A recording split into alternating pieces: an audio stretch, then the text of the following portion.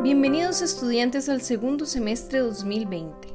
A raíz de la pandemia por el COVID-19, algunas cosas cambiaron, pero ahora más que nunca necesitamos acompañarnos, crecer y adaptarnos. Es un reto para todos y todas, pero confiamos que la solidaridad que caracteriza a la comunidad del PIAM nos impulsará a lograrlo.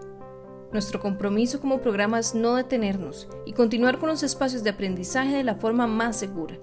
Por eso, los funcionarios y las personas facilitadoras hemos trabajado las últimas semanas por ustedes, los y las estudiantes, para que los cursos sigan siendo espacios para aprender y conocer a nuevas personas de la comunidad. Este semestre no olviden, muchas dinámicas son nuevas. Está bien sentir miedo y frustración y equivocarse en el camino. También está bien pedir ayuda. Pero no olviden que somos más fuertes de lo que creemos y que no estamos solos ni solas.